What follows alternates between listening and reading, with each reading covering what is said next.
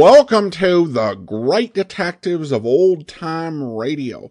From Boise, Idaho, this is your host, Adam Graham. If you have a comment, email it to me, box13 at greatdetectives.net. Follow us on Twitter at Radio Detectives and become one of our friends on Facebook, facebook.com slash Radio Detectives. Remember to cast your vote. Our listener's choice voting continues. You can go to vote.greatdetectives.net and be sure to vote in both polls to help us narrow down the choices in our standard division to 32 uh, programs, with the top 20 of those from next month's vote set to be replayed after we finish up with Mr. Keen, Tracer of Lost Persons. Also, today's program is brought to you by the financial support of our listeners. You can support the show on a one time basis at support.greatdetectives.net. You can send in a donation through the Zelle app to box13 at greatdetectives.net. And I want to thank Bob so much for uh, supporting the program. Uh, Bob actually went ahead and sent in a donation to the P.O. Box, which is uh, Adam Graham, P.O. Box 15913, Boise, Idaho 83715. That's uh, Adam Graham, P.O. Box 15913, Boise, Idaho 83715. Thank you so much, Bob. You can also become one of our Patreon supporters and support the program on an ongoing monthly basis for as little as $2 per month. Now it's time for today's episode of Rocky Jordan. The original air date, September 11th, 1949. And this one is Adventure with Andrea. Buy wisely. Buy for flavor. Buy Del Monte. Del Monte, the brand you trust for flavor in so many good foods. Time now for Rocky Jordan, brought to you today by Del Monte Tomato Products.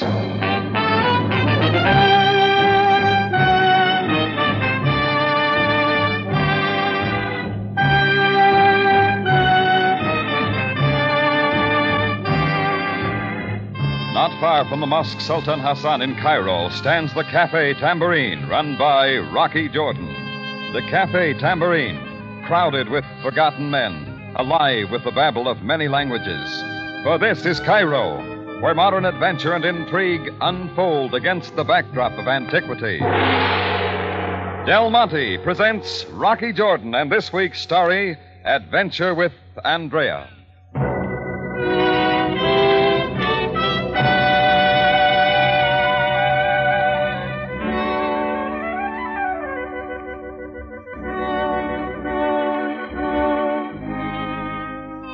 Remember reading about the earthquake in Ecuador that broke the first week in August.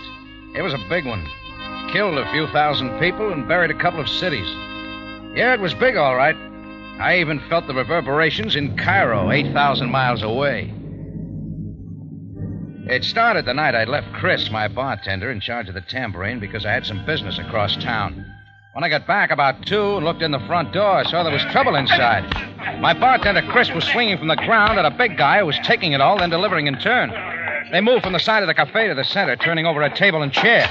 When the bottles began to break, I figured it was time to put a stop to it. So I moved in, but not before Chris buried his fist in the big guy's stomach and he fell face down on a large suitcase.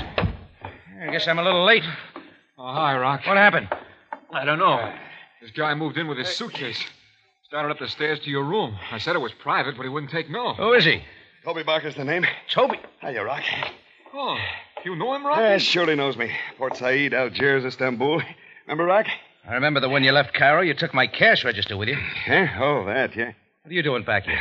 Now, I'll tell you all about it, Rock, but let's go upstairs so I can clean up, huh? Toby wrapped a big paw around the handle of his suitcase, and we went up to my room. He washed up, came back into the bedroom, and flopped on the bed. That's when the conversation started again. Ah, it's good to see you again, pal. Been a long time, huh? Three years, four years?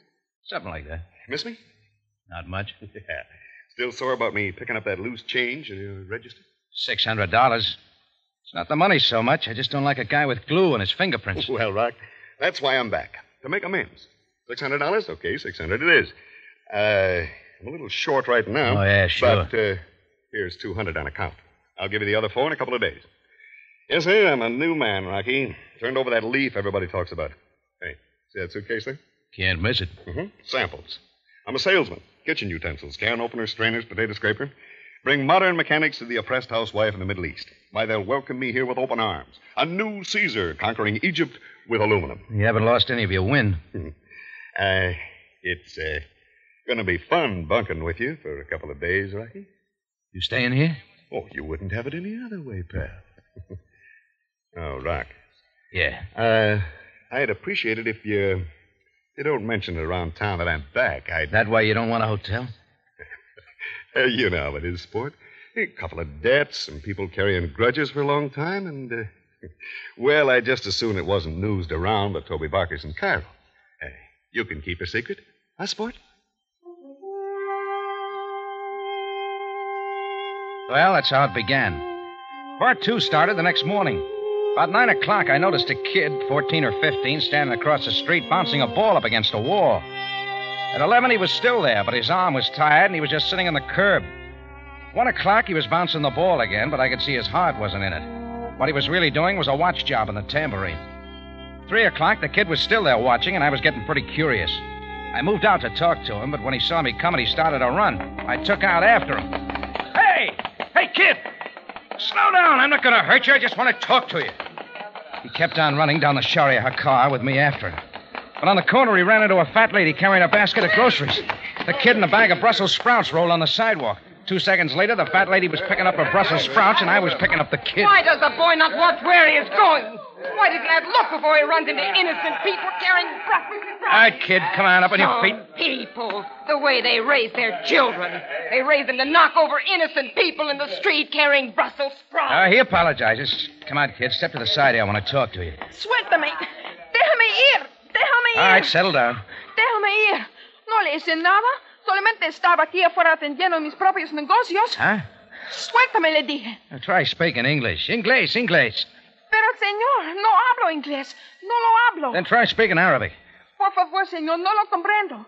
Suélteme, por favor. You were watching my tambourine. Why? Por qué, kid? What's going on? No sé de qué habla. Le dije que estaba atendiendo mis negocios. Suéltame, señor. Suéltame.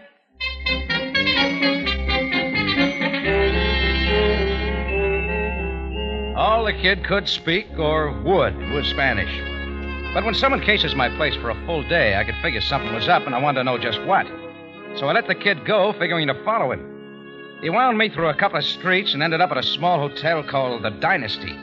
He disappeared into room 212. A few seconds later, I knocked on the door.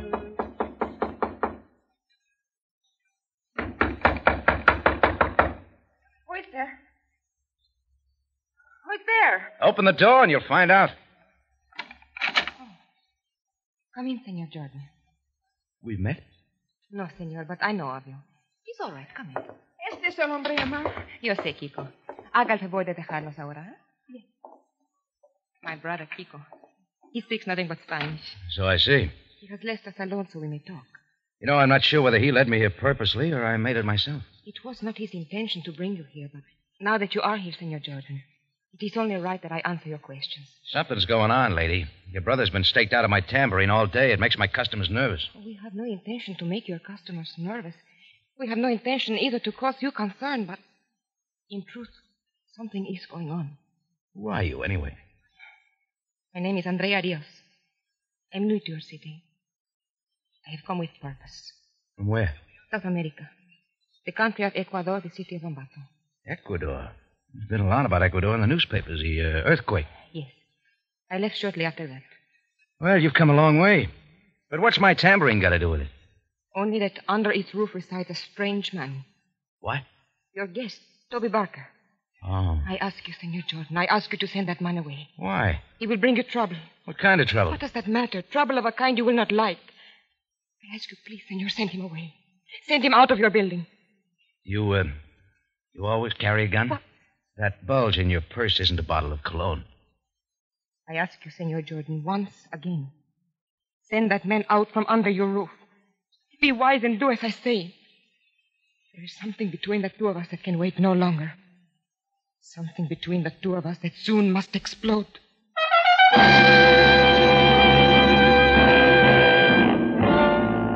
Well, I had the feeling it was a simmering pot. Ingredients? One Toby Barker and a dame from Ecuador. It looked like I was going to be the one to get hit with a flying lid. I went back to the tambourine and spent a couple of hours getting ready for the supper crowd. Chris was racking up a few bottles behind the bar. My cook was scratching around the kitchen with a mixmaster. And I went into my office. Toby Barker was there looking out the window. Oh, hi, Rock. I didn't hear you come in. Looking for someone? Uh, yeah, Rocky, yeah. A friend of mine's coming to see me here. I didn't think you'd mind. Uh, he's going to sign up for a large consignment of my kitchen utensils. Then I hit the road. This friend of yours, a woman? A woman? From Ecuador? Named Andrea Rios? Andrea Rios? What'd you find out about her? Things get out. Yeah? Got a cigarette? Yeah. Is she the friend you're waiting for? No.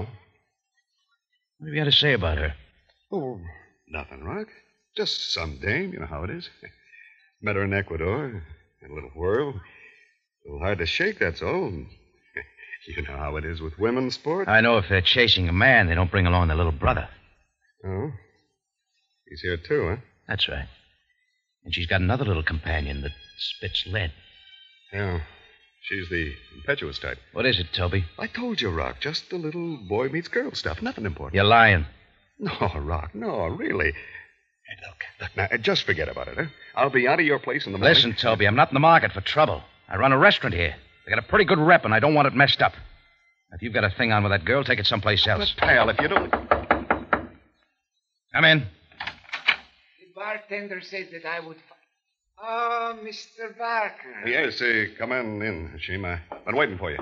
I am most sorry, Mr. Barker. The traffic kept me. Hashim Bey, Mr. Jordan. Ah, most delighted, Jordan Bey. I have heard of you. Most of Cairo has. How do you do? Mr. Barker, I have little time. My client leaves the city soon. He's most anxious we consummate our dealings promptly. Oh, sure, Hashim. Uh, Rock, uh, you mind uh, stepping outside? Huh? You want me to leave my own office? You don't mind, do you, Rock? For a pal? Oh, all right. Make it fast. I stepped out of my own office, and Toby tripped the lock behind me. It was pretty clear that Toby was using my place for a rendezvous with Hashim, and I wanted to know what it was all about. I pressed my ear up against the door, but what I heard was something I didn't expect. I waited a moment until it sounded safe, then unlocked the door and moved inside. Both Toby and Hashim were hugging the floor, still very much alive. The bullets had come from outside. I moved to the shattered window and looked out. Scampering down the street was a long legged dame with a flock of black hair. She was stuffing something back into her purse, and it figured to be the gun. And when she went by a lamppost, I saw who she was Andrea Rios, late of Ambato, Ecuador.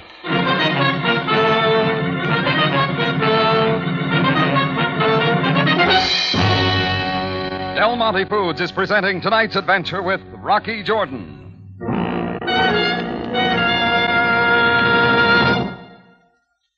If we should just happen to sneak over to the Joneses for a minute, I bet we'd find Mrs. Jones and her friend Betty talking in the kitchen.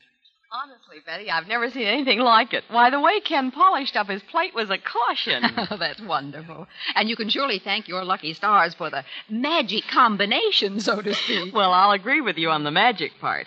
The magic of Del Monte catsup.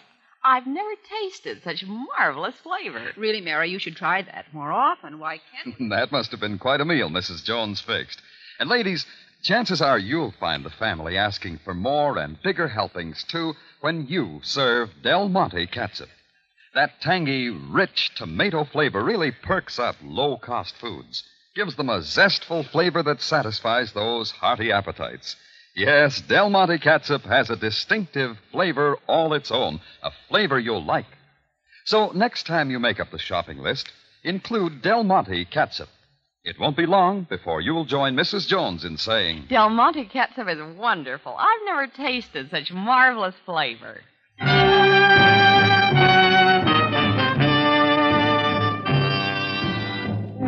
And now we take you back to Cairo and tonight's Rocky Jordan story, Adventure with Andrea.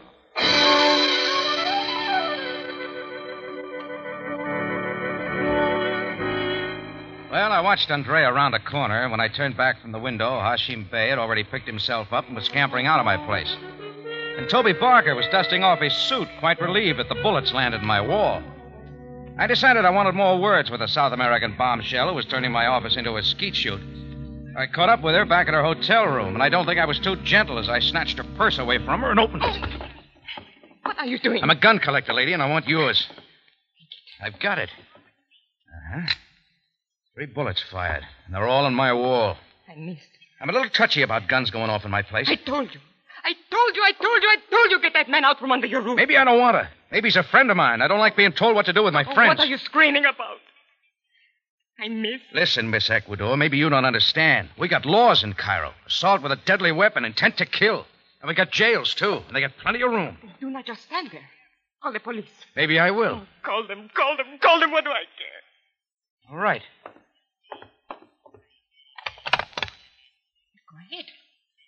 What are you waiting for? Get me Captain Sam Sabaya, Cairo police. Hmm. Call, call them, call them. What does it matter now? I miss.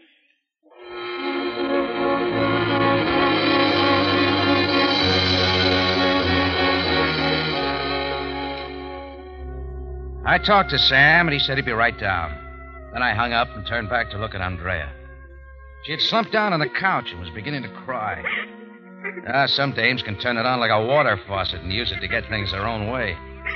But this was different. This was real. At least it looked like it. It wasn't a loud cry. It was soft, but tight, like it was bound up in ropes. And it was a deep cry. It made a fellow wonder. After a while, she came out of it. Senor Jordan, Yeah. what are the jails like? You won't be fond of it. I did not suppose I would. Do you uh, have anything you want to tell me? There's much I could say. I'm a good listener. But to what avail, Senor Jordan? I have tried to kill a man.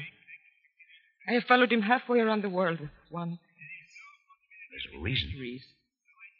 But his reason for one person is not always for another. Try me. I'm living in Ambato in Ecuador. My father is a most revered and wonderful man. He's the proprietor of a fine art shop containing beautiful and expensive relics of early Ecuadorian culture. Then I bring to live with us a man whom I love and have married. He is a man whom my father considers a spoiler he does not approve. But he bends to the wish of his daughter, whom he loves very much. The new husband may stay. As time goes, I hear that my husband is disreputable. I refuse to believe. But then the moment comes when I can no longer shut my eyes to what is about me. It comes when the earthquake comes to Ecuador. The buildings of Ambato are shattered. The people are buried in the rubble. The children scream for their mothers, and misery is all over. It is then, as the buildings quiver and the stones fall, that in front of my eyes, unaware I am there, my husband kills my father with a blow on the head. Still, and then disappears. The law can do nothing. First, it is troubled by the misery of the earthquake. Then it sees no proof. As far as it is concerned, my father was killed by falling rubble. But the daughter knows differently. The daughter saw, and she has no proof. Now the burden of justice lies with her. Yeah, it's a lot of story. How do I know it's true? You don't know? Well, what's your plan now, Andrea? It depends most strongly upon the words you uttered, Captain Sabaya. Yeah. But in fairness, I must say to you, though justice has failed once, it may still be attempted again. You... Yes? Captain Sam Sabaya of the Cairo Police. Oh, come in, Sam. Called me Jordan? Yeah. I came as promptly as I could. Well, what do you wish of me? Uh, Sam, Yes, I'm waiting, Jordan. Andrea, will you do one thing for me? Don't do anything for a couple of hours. Give me a chance to think a little bit. I have waited so long. I can wait a little longer. Jordan, would you Come on, kindly- Sam. Uh, outside. I'll see you soon, Andrea.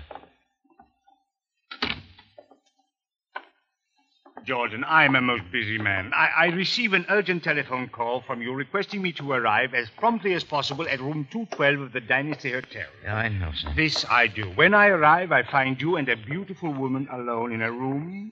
The atmosphere most dense. I know, Sam. I see that you are disturbed, that the lady has been crying, that a gun lies on the bed.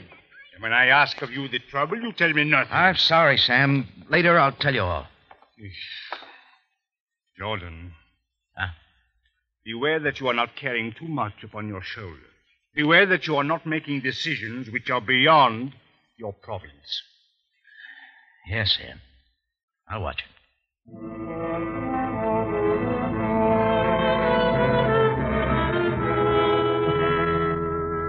I left Sam and went back to the tambourine, trying to figure all the while if what Andrea had told me was true. I went up to my room. Toby wasn't there, but Chris was. Oh, hi, Rock. Just picking up a few of Toby's empty bottles. What's the matter? You look like you've been through an egg beater. Where's Toby? He left a few minutes ago. He had a phone call. Said he'd be back soon. Ah. What are you looking for? Suitcase. Did he take it with him? No, it's over there behind the couch. Uh, take a look inside. He said there's nothing in it but his samples. Kitchen equipment. Well, let's find out, huh? Now, that's kitchen stuff, Rocky. Orange squeezer, knives. Hmm. Let's look at the bottom layer. What is it, Rocky? Looks sort of odd, doesn't it? It's filigree. Gold, silver, or platinum. They're Ecuadorian ornaments of some sort and pretty expensive. I don't get it, Rock. What's it mean? It means part of her story's true, anyway. Whose story? Tell you about it later, Chris. Look, uh, Toby will be back pretty soon to sell this stuff to Hashim. You'll have to do something for me. I want to see a lady from Ecuador.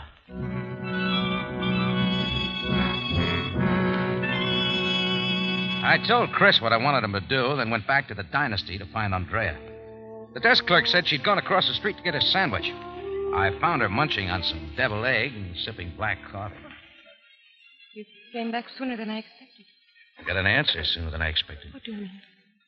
I went through Toby Barker's suitcase. Oh. Gold and platinum filigree, eh? My father's. That's right. Worth quite a bit of money. Fifty thousand to a hundred thousand dollars, depending on the buyer. Even now, Toby is trying to close the deal with an Egyptian named Hashim. And then he will leave the contract. I have not much time. Andrea, Yes. he'll tip his hand. Sooner or later, he'll tip his hand. Will he? I'm trying to tell you to lay away your gun. I know that. It's not worth it, Andrea. If he did what you said he did, he's still not worth your killing. You do not have to go on. My mind is made up. It has worked within me for so long that there is nothing for me to do but to kill him. Andrea. He is an evil man the law cannot touch. He killed my father. And that death is laid at my feet. Rocky, I have no other course but to do what I have planned. She sprung up out of the chair, pulled away from me, and moved out of the place fast. In a minute, she was lost in the crowd on the boulevard. And I found myself wanting to keep her from killing more than anything else. But it takes two to make a killing the one with the intent and the victim. If one couldn't be stopped, maybe the pigeon could be removed. I figured I could beat her back to the tambourine, so I called a cab, told him to step on it. A little while later, he dropped me off just in time to see Hashim Bey scurry out of my place with Barker's sample case in his hand. He was moving toward a black sedan on the corner, I suppose to his waiting client. But I was interested in Toby Barker. I found him in the kitchen, a roll of bills in his hand. Oh, hiya, Rock. We're just going to leave this for you. The rest of the 600 I owe you. Old Hashim and I closed the deal. I turned over my uh, kitchen utensils to him, and he turned over his cash to me. You better start moving, Toby. Huh? I said you better start moving. I'm going. What's the big hurry? Did Hashim open the suitcase before he took it? No, there wasn't much time. He had someone wait. What? You'd better move. For more reasons than one, pal. You're turning into a rabbit in a greyhound race. What are you talking about? Andrea's on her way over here, and she's got a new clip for a gun. Oh? Thanks, Rock. Thanks, pal, for warning me. I'm not thinking about you. Well, then I don't want her to kill you, that's why. I don't think you're worth it. You don't want her to. Oh, no. Oh, well, there's one for you. Oh, That's rich, pal. The rock going soft for my wife. back door, Toby. Use it. sure, sure, Rock. I'm going. Oh, hey, wait. What about your money? Forget it. I don't like the way you got it. Your debt's canceled. Suit yourself. Go on now, make it fast. There's a plane for Athens in 30 minutes. So long, soft touch. I'll use your 400 to have the... At the shot, Toby grabbed his stomach, and that's when the rest of them came. He toppled over in his face, and by the time he hit the ground, he was dead. I looked up the alley to see where the shots had come from. All I saw was a figure standing there with a gun in her hand Andrea Rios. And it looked just like it was mission accomplished.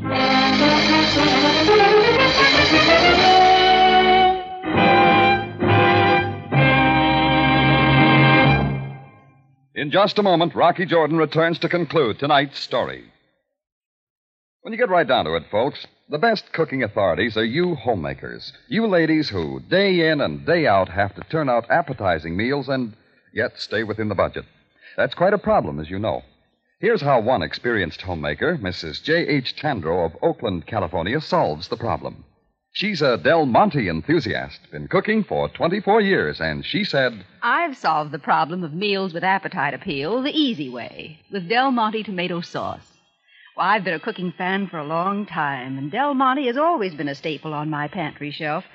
You see, I make a great many stews, meat pies, and fish dishes, and I just can't imagine them without that good, rich tomato flavor. And Del Monte tomato sauce is so easy to cook with. Anybody can use it. Thank you, Mrs. Tandro. Yes, Del Monte tomato sauce is so easy to use. Just pour it over and cook it in. Then sit back and enjoy a real flavor treat. For tomato flavor at its best, buy the original tomato sauce. Buy Del Monte. Back now to Rocky Jordan.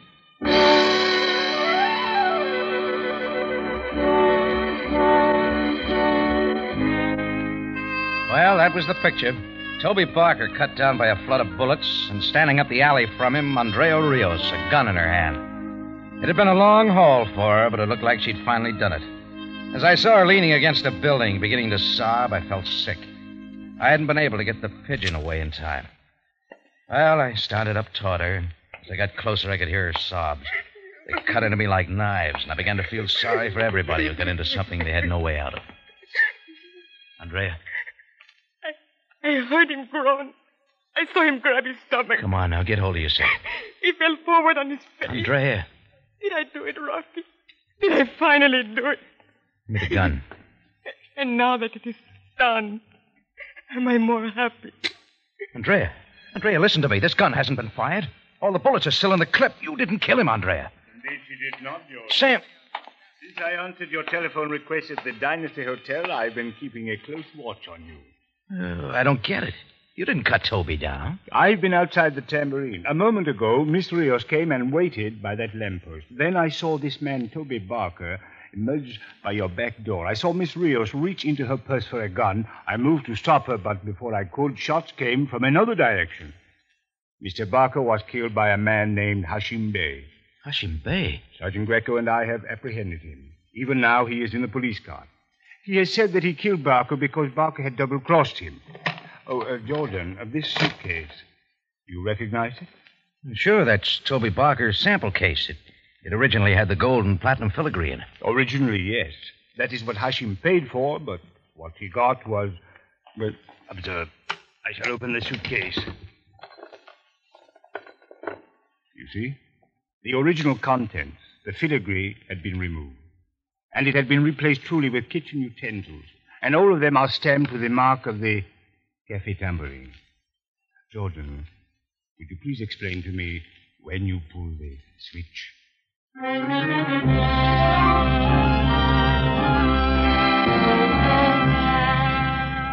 Well, Chris had done what I had asked him to do remove the filigree and replace it with plain old utensils for my kitchen. I was trying to save the filigree for Andrea Rios because I knew Toby was getting ready to peddle it right away. I had no idea the switch would make Hashim throw bullets at Toby. But it did, and, well, that was that. I turned the filigree over to Sabaya, and after the inquiry, it'd go back to Andrea Rios. That's about all, except that Andrea got her justice without putting her own foot in it. Later, Andrea and her brother Kiko went back to Ecuador. Well, who knows? Maybe someday I'll take a trip over there myself.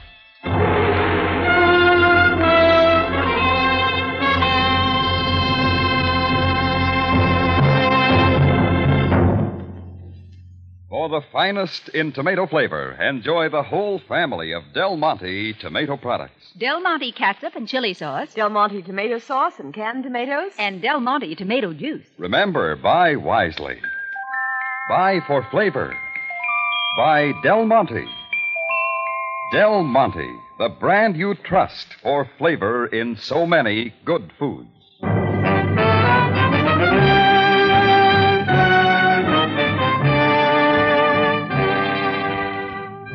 Rocky Jordan, written by Larry Roman and Gomer Cool, stars Jack Moyles in the title role with Jay Novello as Sam Sabaya, and is produced and directed by Cliff Howell, with original music composed and conducted by Richard Aurandt. Remember, you have a date next week at the Cafe Tambourine run by Rocky Jordan. Same time, same station. And the story is The Nile Runs High.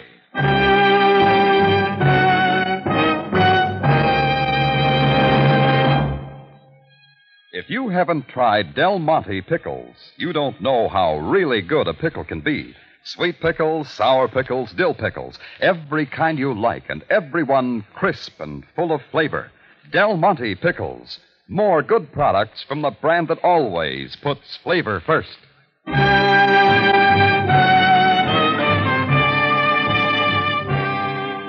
Larry Thor speaking. Rocky Jordan is presented over CBS, the Columbia Broadcasting System.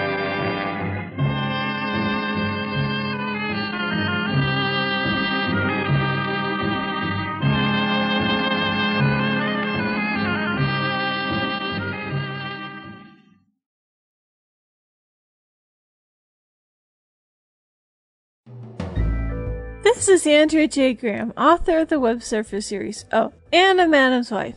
You're listening to the Great Detectives of Old Time Radio.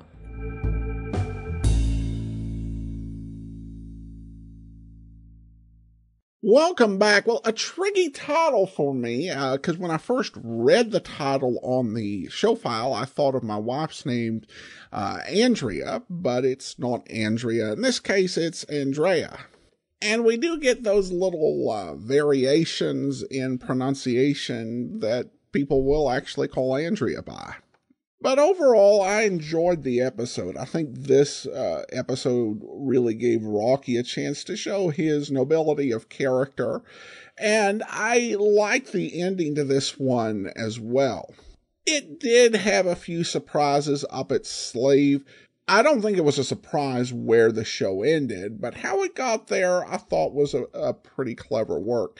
I also noted the the comment about most people in Cairo knowing who Rocky is. And that led me to think that that might also be an explanation for why he ended up leaving uh, Istanbul, is that he did sort of the same stuff and got a reputation and a lot of trouble coming to him.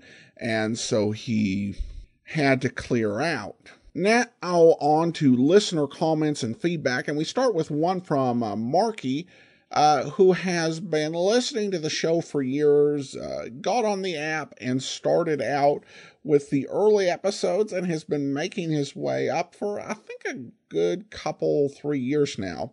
Uh, and he writes in, uh, listening to episode 2705, Rocky Jordan, this show is growing on me. And the relationship between Rocky and Sam Sabaya is one of the best detective and cop relationships. A good, smart cop that gives Rocky just enough room to help out, but not enough to leave him hanging. Well, thanks so much, Marky. Appreciate your comment. And congratulations on being so close to being caught up. We turn to Facebook and a question from Amy who writes, I voted but then realized that I didn't see or perhaps remember the name of the series with Dan Duryea. Perhaps there weren't enough episodes. Uh, regarding the listener's choice poll. Well, in answer to the question, Amy, uh, the listener's choice poll we're having this month is just to get the uh, field narrowed down. It's a preliminary round for what we're calling the standard division. Now, the standard division is every series where we have 11 or more episodes. And with the voting next month, the top 20 of those series will be uh, played as uh, listener's choice. However, we're also going to have a short division with shows where there are between 3 to 10 episodes in circulation. Uh, many of those shows have had a lot of people who enjoyed them, but they were only on the uh, podcast for a short time. I don't, I don't think they could or should compete with the uh, standard division programs. And in this particular case, we don't really need to winnow down the uh, field. We already have a little less than 30 programs in the short division. So next month we'll have the standard division poll, the short division poll, with the top five in the short division uh, also being listeners' choice uh, programs, and uh, you'll be able to vote in each uh, division once. So thanks so much for the question, Amy. We also have a Facebook recommendation from Frank who writes, uh, really enjoy the programs and the host adds some good insight on each one. Thanks so much, Frank. And finally, we have an app review on the Apple App Store from Noble Oni, who writes The heyday of radio detective drama has been brought back to life by Adam Graham in the order the shows were originally broadcast. Adam does his homework for every single episode, and historical nuggets he provides add additional context to the shows. I've always been a fan of radio drama, and with this podcast, I've abandoned all other forms of listening entertainment while driving in the car or going to sleep. This is the best podcast I've come across, and the app is superb. Anyone who enjoys crime drama will be thrilled with this app and its podcast. Keep up the good work, Adam. You have hundreds of thousands of fans worldwide. Well, thanks so much. All right, that will do it for now. Join us back here tomorrow for Boston Blackie, and then we'll be back again next Wednesday with another episode of Rocky Jordan. Remember, be sure and cast your vote in the preliminary round of the listener's choice voting. Go to vote.greatdetectives.net. You can follow us on Twitter at Radio Detectives and become one of our friends on Facebook. Facebook.com slash Radio Detectives. From Boise, Idaho, this is your host, Adam Graham, signing off.